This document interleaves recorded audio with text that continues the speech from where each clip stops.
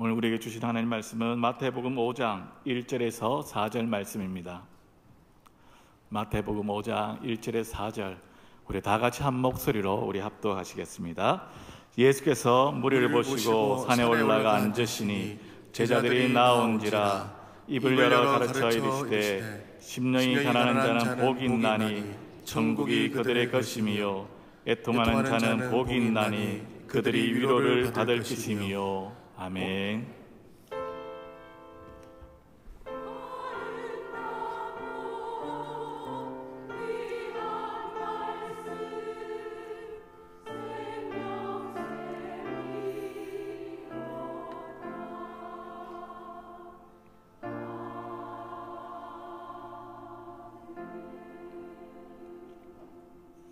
할렐루야. 우리 앞뒤 좌우로 인사할까요? 사랑합니다. 새 하나님의 은혜로 충만하십시오. 네, 오늘 우리 기도하신 집사님도 오늘 24년 표를 말씀하셨는데요. 여러분 올해 교회 표가 뭔지 아십니까? 뒤에 있죠. 예수님을 따라 세상 속으로. 올 한해 예수님을 따라 세상 속에서 빛과 소금의 역할을 감당하는 우리 모든 성도님들 될 수 있기를 소망합니다. 여러분 우리가 새해가 되면 늘 기대하는 것이 있습니다. 뭡니까? 작년에 하지 못했던 거, 작년에 실패했던 거, 그것을 이번에는 꼭 해내리라. 올해만큼은 살을 빼야지. 몇 년째 다짐하는지 모르겠지만 무조건 살을 몇 킬로 빼리라. 이렇게 다짐하죠. 어떤 분은 영어 공부를 이제 늦었지만 더 이상 늦출 수 없어 영어 공부를 시작하겠다. 어떤 분들은 악기를 취미로 다시 배우겠다. 이런 분도 있습니다. 신앙생활도 마찬가지입니다. 기필코 24년 한 해는 성경 1독을 완주하리라. 이렇게 다짐하는 분도 있을 겁니다. 그리고 이제 새벽 기도를 잘 못 나오신 분은 올해는 새벽 기도 좀 더 열심히 해야지. 그리고 금요철에 빠지지 않고 열심히 나와야지. 올해는 나에게 새로 맡겨진 그 봉사를 열심히 잘해야지. 이렇게 다짐하는 분들이 많이 있습니다. 문제는 뭡니까? 이것이 오래 가지 못한다는 것입니다.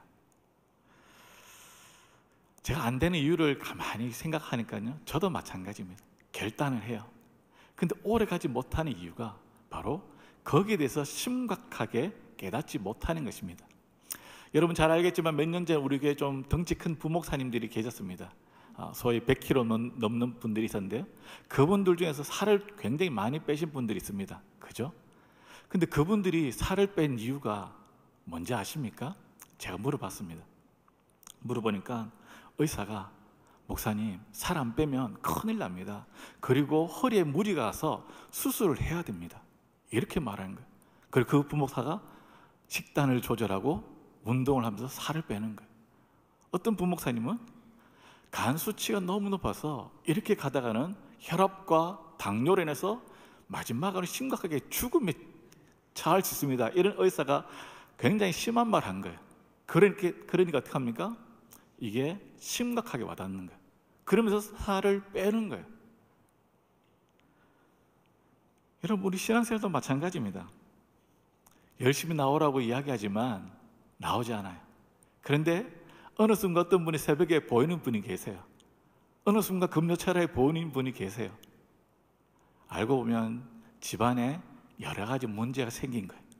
힘들고 고난이 생기니까 알아서 나오는 거예요. 자식의 그 문제가 내 힘으로 안 되니까 나와서 엎드리는 거예요. 기도하는 거예요. 즉, 우리가 심각하게 절박하면 우리가 신앙생활을 제대로 할 수 있는 것입니다.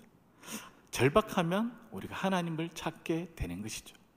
바라기는 올 한 해 2024년 우리가 하나님을 간절히 섬하고 하나님 앞에서 철박하게 매달면 우리가 우리의 그 삶에 일어난 그 모든 어려움과 고난과 문제 가운데 하나님께 주신 힘과 능력으로 말씀으로 승리하는 삶을 살아갈 수 있습니다. 바라기는 그렇게 되기를 소망합니다. 여러분 우리가 지금 올해도 달고나를 찍고 있습니다. 여러분 달고나 듣고 계십니까? 2024년은 이제 신약과 시편 자문인데요. 이번 주간은 마태복음 1장부터 7장까지 말씀을 읽게 됩니다. 이제 마태복음 5장은 내일 예, 등장합니다. 우리가 오늘 읽었던 이 본문은 산상설교인데요. 이 산상설교는 너무나 익숙하고 잘 알고 있습니다.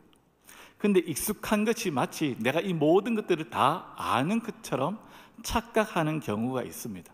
저도 너무나 이거 어렸을 때부터 모태신앙이다 보니까 많이 들었어요.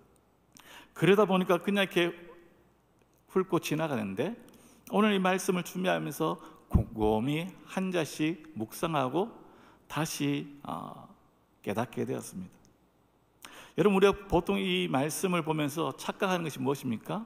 아 팔복, 산상설교 이것은 바로 이런 이런 사람은 이런 복을 받는다라고 생각하는 것입니다. 심령이 가난한 자는 천국이 그들의 것이 된다. 애통하는 자는 하나님이 그들을 위로해 주신다. 온유한 자는 그들이 땅을 기업으로 받게 될 것이다. 이런 복을 받는다. 이렇게 생각하는 경우가 있다는 것입니다. 근데 이 산상설교 이 팔복은 그렇지 않다는 것입니다. 하나님 나라 백성들의 특성을 말씀해 주고 있습니다. 복을 받아 하나님의 백성된 성도들이 어떤 사람인지 우리에게 말씀하고 있는 것입니다. 예수 믿는 성도들은 복을 받은 자들인데 그들은 바로 심령이 가난한 자들이고 그들은 천국을 누리고 소유하는 자들이다. 예수 믿은 성도들은 바로 애통하는 자들이고 그들이 바로 온유한 자이다. 이것이 바로 팔복입니다. 그러면 이 팔복을 우리가 잠시 어, 살펴보기 전에 우리가 먼저 생각해야 될 것이 있습니다. 여러분 이 팔복 우리가 읽었던 심령이 가난한 자, 애통하는 자, 온유한 자, 의에 줄이고 목마른 자, 긍휼을 여기는 자, 마음이 청결한 자, 화평케 하는 자. 이 팔복은 몇몇 사람에게 나타나는 것이 아니라 모든 예수 믿는 성도에게 나타나야 할 특징이라는 것입니다. 천국 백성이라면 이 특징이 나타나야 합니다. 교육자에게만 나타나는 것이 아니라 장로님과 근사님들에게만 이런 특징이 나타나는 것이 아니라 예수 믿는 모든 그리스도인들에게 심령이 가난하고 애통하는 마음이 있어야 되고 바로 온유함이 있어야 한다는 것입니다. 이 여덟 가지 이 모든 그리스도의 특징이 모든 사람에게 나타나야 하는 것입니다. 그리고 이 팔복 이것은 동시적입니다. 어떤 사람에게는 심령이 가난하게 되고 어떤 사람에게는 온유함이 나타나고 어떤 사람에게는 마음이 청결하고 어떤 사람에게는 화평케 하는 그런 것이 아니라 동시적으로 같이 나타나는 것이죠. 성령의 열매 아홉 가지가 하나인 것처럼 이 팔복 이것은 모든 그리스도인에게 등장해야 되는 것입니다.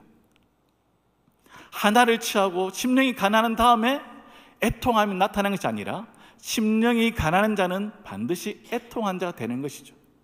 애통한 자가 온유한 자가 되는 것입니다. 이것이 연결되어 있다는 것입니다. 그리고 이 팔복은 우리가 본래 태어나면서 가지고 태어나는 것이 아니란 것입니다. 주위에 어떤 사람 너무나 착한 사람이 있습니다. 주위에 사람들 잘 섬기고 베풀고 법 없이도 살 수 있다는 사람이 있습니다. 너무나 착하다. 너무나 온유하다. 그런데 그 기질과 성품과 성경에서 등장하는 이 팔복은 완전히 다른 것입니다. 어떠한 사람도 이 팔복의 여덟 가지 특징을 가지고 태어나는 사람은 없다는 것입니다. 이 팔복은 우리가 하나님의 백성으로 거듭날 때에 하나님께서 주시는 것입니다. 그리고 이 팔복은 세상 사람들과 크리스찬이 어떻게 다른지 보여주는 것입니다. 교회와 세상과는 달라야 한다는 것입니다. 그리스도니 이 세상을 살면서 어떻게 생각하고 어떻게 말하고 어떻게 행동하고 어떻게 살아야 되는지 바로 보여주는 것이 이 팔복입니다. 즉 하나님의 그 기준이죠.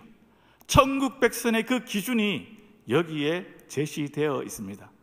한마디로 말하면 산상설교는 천국 백성은 천국 백성답게 살아야 한다는 것입니다. 하나님의 백성은 하나님의 백성답게 살아야 된다는 것입니다. 이 땅의 법칙과 이 땅의 가치관과 이 땅의 라이프 스타일을 따라가는 것이 아니라 바로 하늘의 법칙을 따라 살아야 된다. 왜 그렇습니까?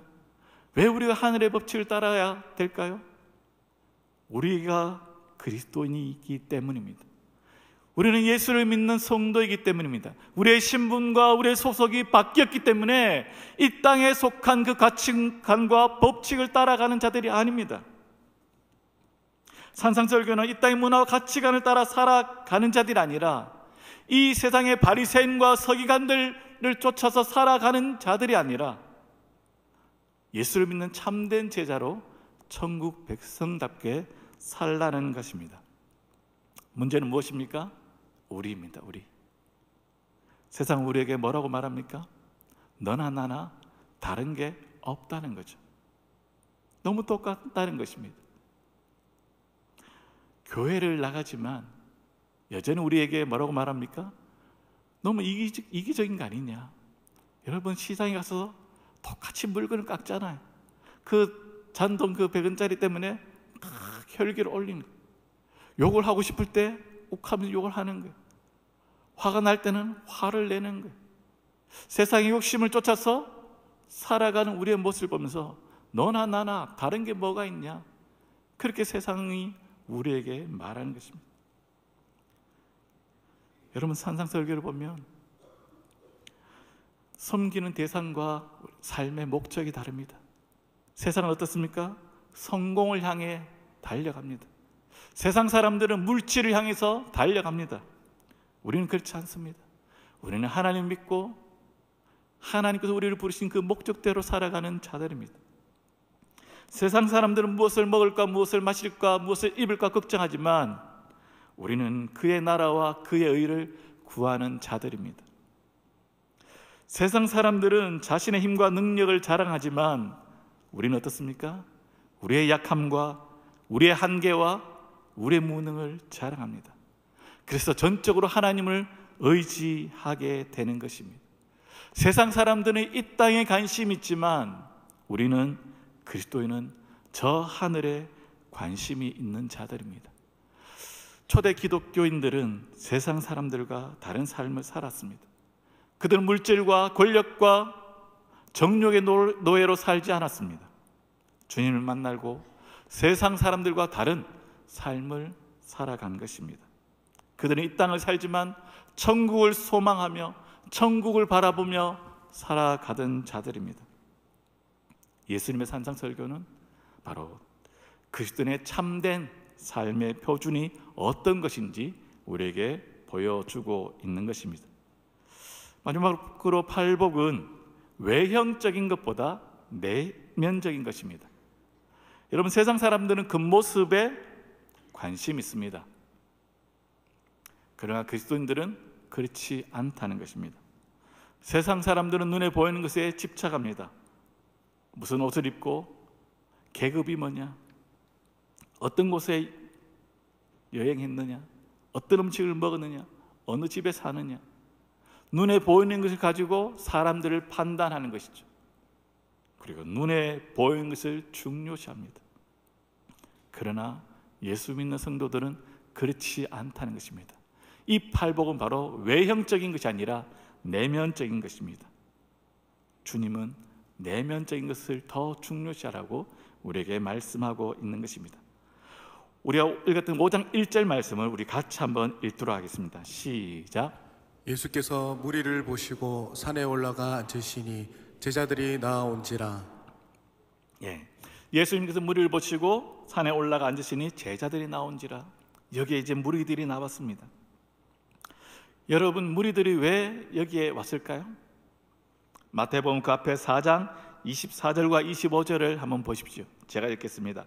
그의 소문이 온 수리아에 퍼진지라 사람들이 모든 앓는 자, 곧 각종 병에 걸려서 고통당하는 자, 귀신 들린 자, 간질하는 자, 중풍 병자들을 데려오니 그들을 고치시더라. 갈릴리와 대가볼리와 예루살렘과 유대와 요단강 건너편에서 수많은 무리가 따르니라. 무리가 왜 나왔습니까? 예수님께서 무리들이 선포하신 회개하라 천국이 가까이 왔다. 이 말씀을 듣고 그들이 말씀을 듣기 위해서 나왔습니까? 그렇지 않다는 것입니다. 수많은 사람들은 자신의 병을 고치기 위해서 예수님은 그 병자들과 약한 것을 고쳐 주셨습니다. 그리고 예수님의 그 인기와 소문은 대단했습니다.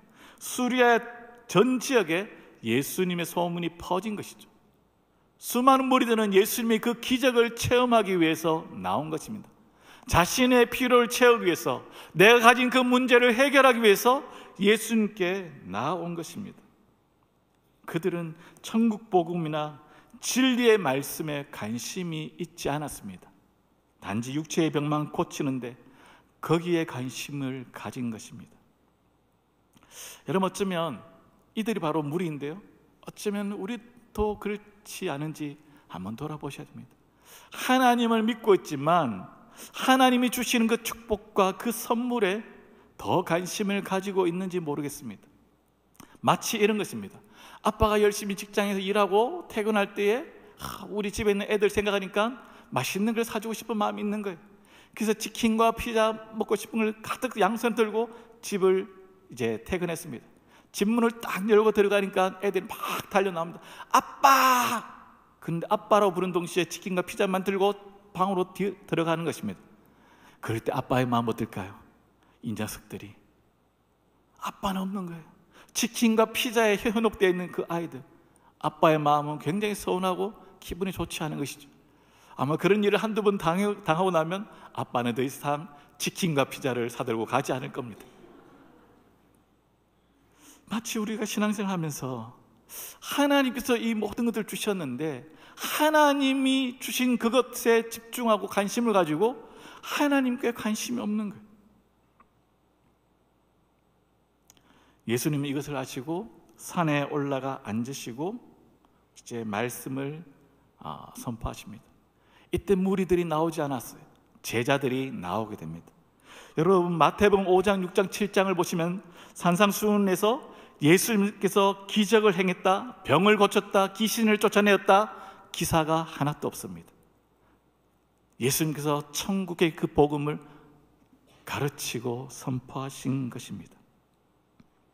오늘 일절에 보시면 산에 올라가 앉으시니 앉으시니 원어로 보시면요 이 단어는 공식적으로 중요한 내용을 선포하거나 가르치실 때 사용한 단어입니다. 회당에서 가르치고 설교할 때도 이 앉으시니 이 단어를 사용하는 것이죠. 즉 예수님께서 산에 올라가 가르쳤다는 것은 그냥 즉흥적으로 그냥 생각나서 가르친 것이 아니라는 것이죠. 길을 가면서 그냥 편안하게 얘기할 때 그 이야기하는 것이 아니라는 것입니다. 분명한 목적을 가지고 예수님께서 오늘 제자들에게 천국 복음을 가르치는 것입니다. 여러분 오늘 1절의 마태 기자는 무리와 제자를 분명하게 구분해서 사용하고 있는 것입니다. 오늘 이 말씀을 대할 때 나는 무리인가? 아니면 나는 제자에 속한 사람인가? 무리는 예수님을 환호하고 즐거워하지만 자신의 유익을 채우지 못하면 떠나가는 자들입니다. 무리는 자신의 그 대가를 지불하지 않아요. 예수님의 관한 그 소문을 들었지만 예수님과 친밀함은 없는 자들입니다. 그러나 제자들은 어떻습니까? 자신의 유익을 채우지 못해도 끝까지 따라가는 자들입니다. 대가를 지불하는 자들이죠. 예수님과 함께 지내면서 예수님과의 친밀감을 누리는 자들입니다. 그들이 바로 제자들입니다.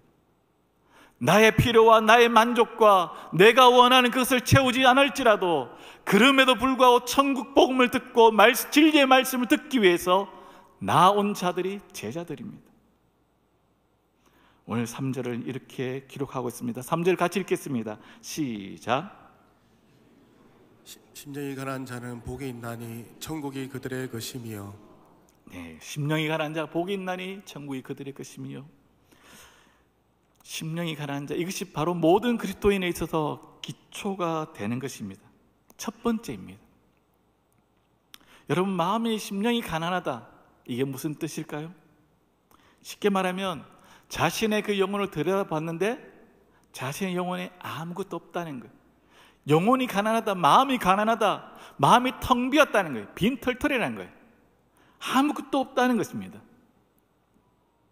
그것이 바로 심령이 가난하다는 것입니다.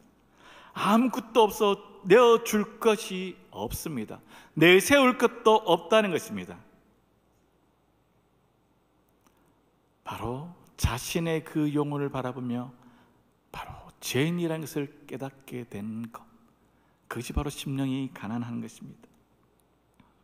하나님 안에서 자신을 바라보고 내면을 바라고 보고 아무것도 아님을 깨닫는 것. 이것이 심령이 가난한 것입니다. 마음이 가난하다는 것은 하나님 앞에서 죄인됨, 무능함을 발견하는 것에서 시작하는 것입니다. 하나님의 그 거룩과 하나님의 그 영광을 우리가 보면서 우리의 마음은 깨어지는 것이죠. 우리는 하나님 앞에서 아무것도 내세울 것이 없는 자로 서게 되는 것입니다. 이것이 바로 마음이 가난한 것입니다. 나는 아무것도 아니다. 내가 가진 것도, 내가 누리는 것도, 이 모든 것이 아무것도 아니라고 깨닫는 자. 그 사람이 바로 마음이 가난한 자입니다. 이사야 6장에 우시야 죽던 때에 이사야가 성전에서 하나님을 만나게 됩니다. 그리고 고백하는 말이 있습니다. 화로다 나여 망하게 되었도다. 나는 입술이 부정한 사람이요. 거룩하신 그 하나님을 만난 이사의 고백이 바로 이거였습니다. 화로다 나여 망하게 되었도다. 이것이 바로 심령이 가난한 자입니다. 신약 성경에 누가복음 5장에 또 한 사람이 등장합니다. 바로 예수님께서 한 배에 오르십니다. 그리고 그 배에 올라서 예수님께서 말씀을 전하십니다. 그리고 베드로에게 이렇게 말합니다. 깊은 데로 가서 그물을 던져라. 베드로가 예수님의 그 말씀에 의지하여 순종하게 됩니다. 우리 잘한 것처럼 그 결과는 엄청난 고기를 어, 낚게 되는 것입니다. 그리고 베드로가 하는 고백이 무엇입니까? 주여 나를 떠나소서 저는 죄인입니다. 이것이 바로 심령이 가난한 자의 고백인 것입니다. 여러분 바로 마음이 가난하다는 것은 하나님 앞에서 자신의 모습을 보는 것이죠. 마음이 가난한 것은 바로 우리의 마음이 깨어진 사람입니다. 그 사람은 단순합니다. 그리고 내가 아무것도 없음을 발견했기 때문에 어떠한 것도 주장하지 않는 사람입니다. 자신의 능력과 자신의 그 대단함을 드러내지 않고 오직 겸손하게 엎드리며 기도하는 사람입니다. 자신의 힘과 능력을 의지하지 않는 사람입니다. 여러분, 우리가 훈련해야 하는 것 중에 하나가 바로 자꾸 버리는 훈련을 해야 됩니다. 자꾸 버리면 우리의 삶이 단순해집니다. 저희 교육자들이 이사를 그래도 여러분들보다 조금 자주 하잖아요. 이사를 할 때 보면 정말 엄청난 짐을 어, 발견하게 됩니다. 그리고 또 버리고 버려도 정말 많이 있습니다. 아, 이것을 보면서 참 우리가 예수 믿는 성도로서 정말 우리가 포기하고 버리는 훈련을 해야 되는구나 이것을 깨닫게 됩니다. 여러분 우리가 너무 많은 것을 소유하면 우리의 삶이 정말 힘들어지는 것이죠. 크리스찬의 삶은 자신의 것을 주장하고 고집하는 삶이 아니라 버리는 삶입니다. 포기하는 사람입니다. 그들에게 성경은 뭐라고 말씀하고 있습니까? 천국이 너희의 것이다. 바로 심령이 가난한 사람, 마음이 깨어진 사람, 자신이 내세울 것이 없다고 고백한 그 사람에게 바로 천국이 너희의 것이라고 말씀하는 것입니다. 여러분 그렇기 때문에 가난한 마음은 하나님만 의존하고 은혜를 구하는 마음입니다. 자신의 부족함을 깨닫는 것으로 그치는 것이 아니라 하나님을 의지하고 하나님의 은혜와 긍휼을 구하는 마음이 심령이 가난한 자인 것입니다. 사랑하는 성도 여러분, 우리의 계획과 우리의 방법을 포기하고 하나님의 방법과 하나님의 뜻을 쫓아갈 수 있는 우리 모든 성도들 될 수 있기를 소망합니다. 그럴 때에 우리에게 천국이 너희의 것이라고 말씀하는 것입니다.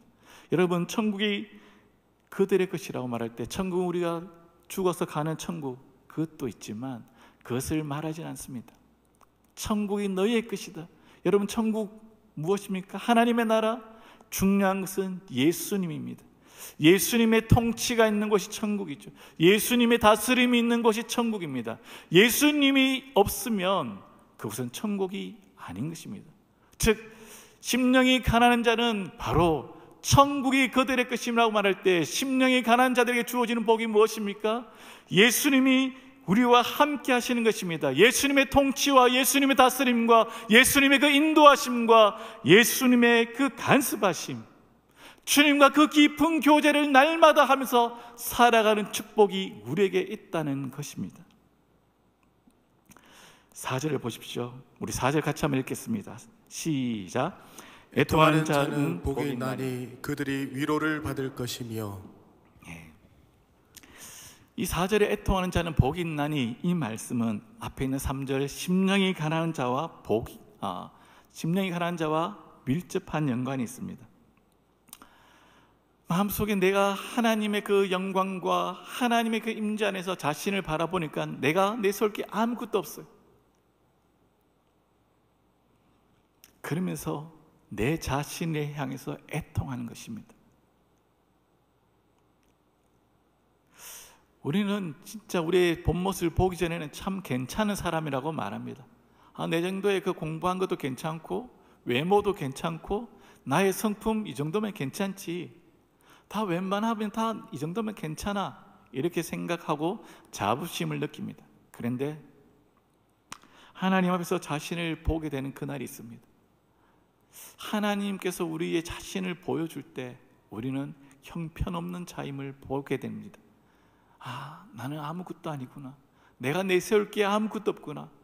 내가 행하는 이 모든 게 주님이 기뻐하는 줄 알았는데 아니구나. 내 안에 죄악 덩어리를 보게 되는 것이죠. 그래서 내면에서 엉엉 울기 시작하는 것입니다. 이것이 바로 애통입니다. 가슴을 치며 내 안에 죄와 허물을 보고 울기 시작하는 것이죠. 여러분 오늘 본문에 나타난 이 애통은 세상의 이 애통과는 조금 다릅니다. 세상의 애통 어떻습니까? 남에게 속임을 당하거나 남에게 뭔가 어, 빼앗기거나 남에게 좀 우리가 손해를 봤을 때 힘들어하고 아파하는 것이죠. 그리고 고난을 당할 때 겪는 슬픔입니다. 사랑하는 그 가족을 떠나보낼 때에 당하는 그 슬픔 이것이 애통인 것입니다. 그럼 오늘 말씀에서 나타난 이 애통은 바로 영적인 애통입니다. 자신 안에 있는 내 안에 있는 죄와 허물을 발견하면서 하나님의 진노가 있음을 깨닫고 몸부림치면서 애통하는 거죠. 이것이 바로 오늘 말씀에 등장하는 애통입니다.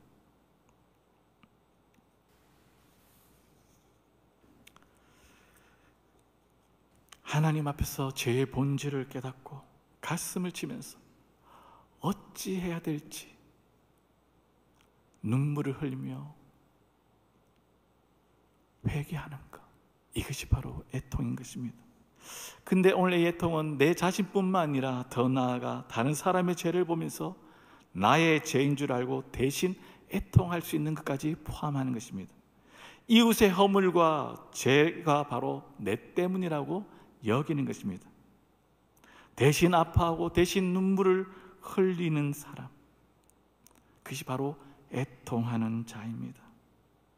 내 주위에 있는 사람들의 허물과 죄악, 우리나라에 있는 이 죄악, 가정에 있는 그 모든 죄악, 내가 지은 죄는 아니지만 내가 그 죄악을 같이 짊어지고 애통하는 것.